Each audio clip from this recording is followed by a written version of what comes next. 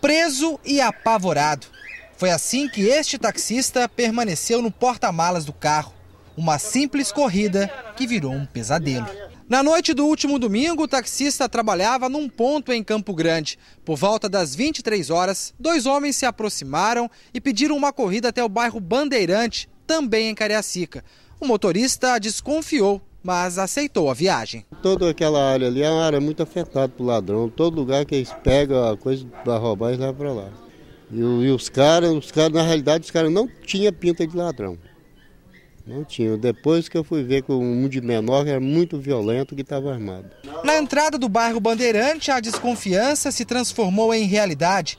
Eu entrei no beco, ele chegou e falou, ó, perdeu um assalto. Aí o, na hora que chegou, falou comigo, para na frente daquele caminhão ali. Aí eu peguei e parei. Falou, agora é o seguinte, ó, tá descendo um carro lá, fica tranquilo, apaga o farol, fica com a mão no volante, não tenta mexer. Se mexer, eu te atiro.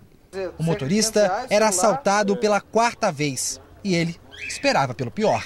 Vamos devagarzinho, saltar devagarzinho para abrir o capu. Você vai entrar lá dentro do capu. Se tentar alguma coisa, aqui mesmo você vai ficar. E o de menor viu, viu que eu estava assim, meio grande para entrar ali. Ele falou: Não, vamos. No porta-mala, né? No porta-mala. Vamos largar ele aqui mesmo, aqui, dá um tiro na cabeça e larga ele aqui, rapaz. O outro falou: Não, rapaz, o cara não está reagindo nada, vamos deixar o cara no porta-mala, vamos dar um cortejo e depois nós solta ele. O taxista ficou por mais de uma hora no porta-malas. Pensava, eles bater o carro, eu morrer ali na batida e eu, na hora que chegar lá eles me matar, me eliminar, eu me matar. Durante este tempo, os bandidos resolveram visitar bocas de fumo da região. Depois, abandonaram o veículo no bairro Maracanã.